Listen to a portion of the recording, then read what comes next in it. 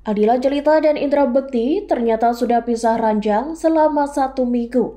Hal itu disampaikan langsung oleh kuasa hukum Aldila yakni Milano Lubis saat ditemui di kawasan Kebayoran Baru, Jakarta Selatan, Senin 27 Februari 2023. Dikatakan Milano, Indra Bekti lah yang memilih untuk angkat kaki dari kediaman mereka.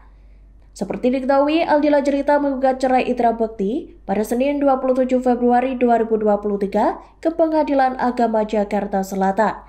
Saat ditanya di mana keberadaan Indra Bekti saat ini, Milano menuturkan bahwa sang presenter tinggal di radio tempatnya bekerja. Rupanya keputusan untuk berpisah itu sudah menjadi kesepakatan Dila dan Bekti setelah hampir 13 tahun berumah tangga. Namun Milano menegaskan bahwa penurunan ekonomi Indra Bekti bukanlah alasan Dila melayangkan gugatan cerai. Itu sejak kapan mas? Jadi satu minggu dari yang dari Siapa yang keluar bang? Yang keluar Bekti.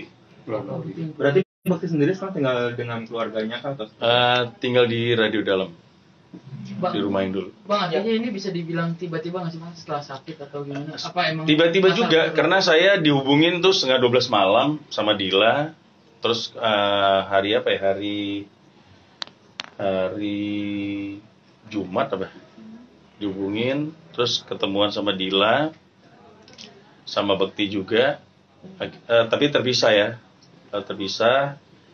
Saya, saya saya tanya sama Dila eh, kenapa terus sudah benar-benar siap nggak Eh, nggak sayang.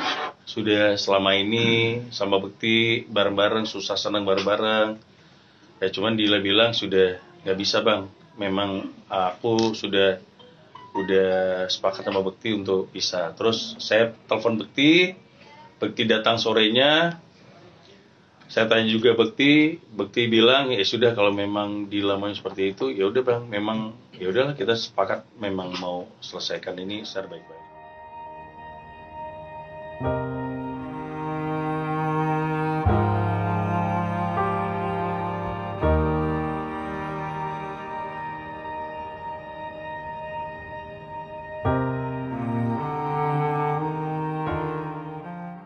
Terima kasih sudah nonton. Jangan lupa like, subscribe, dan share ya.